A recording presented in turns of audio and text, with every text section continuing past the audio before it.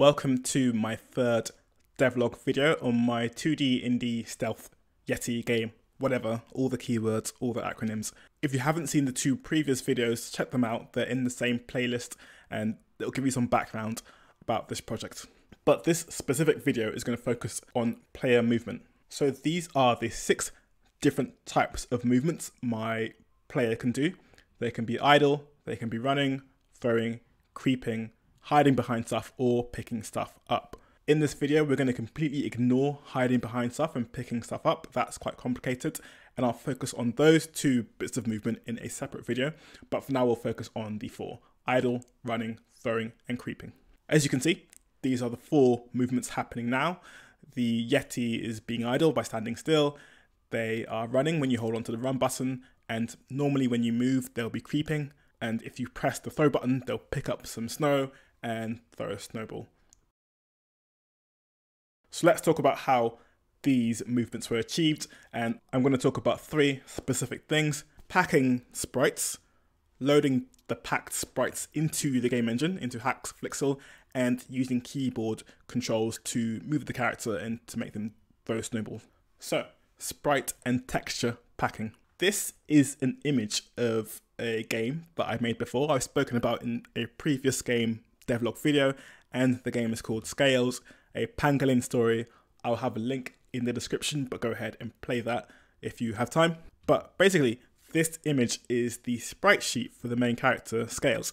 And as you can see, it has all of Scales and movement, but it's not perfect, and I'm going to explain why.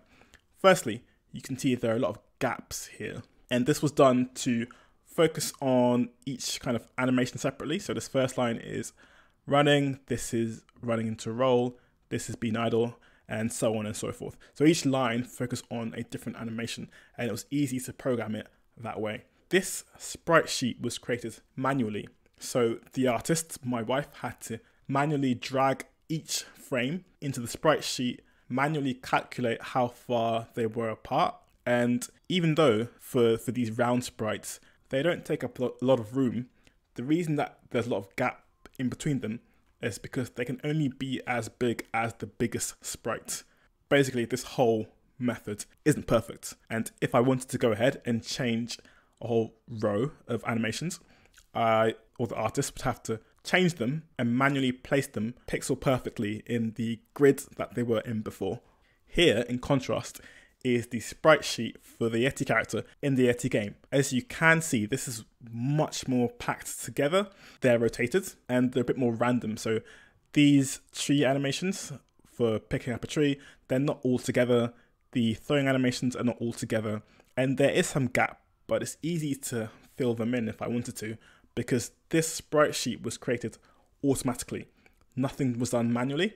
I simply dragged the images that the artist, my wife, had, had made, and this sheet was generated.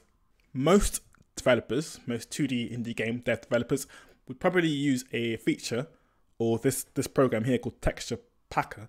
And Texture Packer does exactly what I said. You give it a load of images in a zip or in a folder, and it will pack them for you perfectly in a, a sprite sheet. The problem with Texture Packer is it's not free. It costs £40, and this is uh, for a year.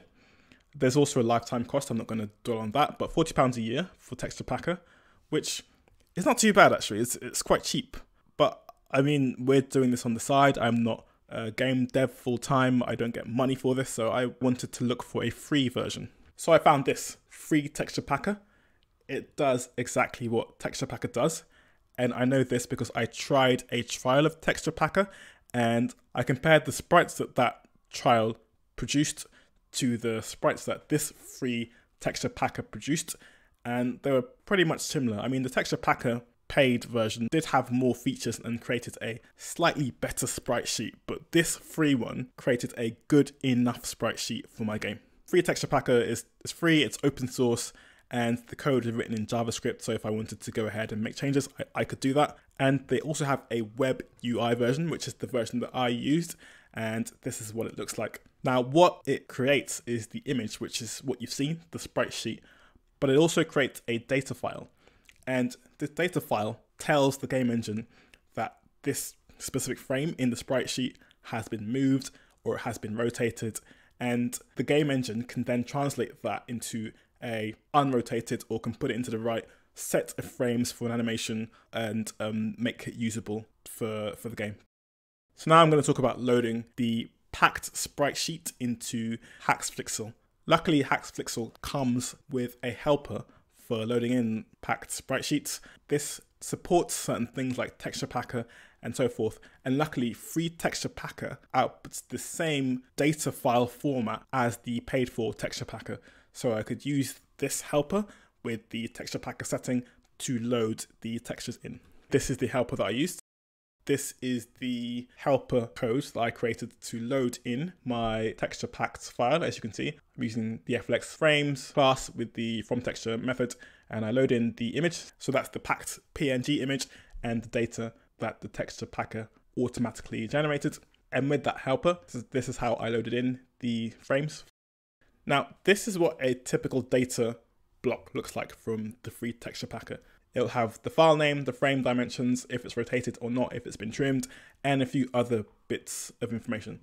But the main thing that I used for my game to know how to lay out the frames was that each different frame had its own name. So as you can see, there's a, there's a creep with 05, creep 06, creep 12, and they're kind of in randomized order to pack the sprites in the best way. But I created a helper in HaxeFlixel to help me line them up, so unrandomize them and load them in an animation.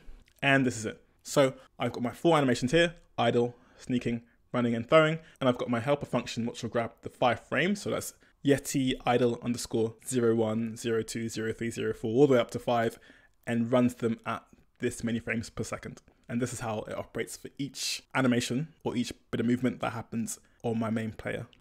Okay, moving on to keyboard controls. And luckily HaxeFlixel makes this very simple. These are the inputs that I used, left, right, up, circle and cross. Now, circle and cross, they're helpers for me personally because I'm a PlayStation player, console player, so I, I know where they are on the, on the controller. So if the game that I'm making is ever on a console, these are the buttons that will be used on the controller. This is how each button is loaded up in HaxeFlixel using this FLX Action Digital Helper. And I created a controls singleton. I've spoken more about singletons in another video. I will link that in the description. But the singleton essentially means I only instantiate the class once in the whole game. So this makes it better for performance.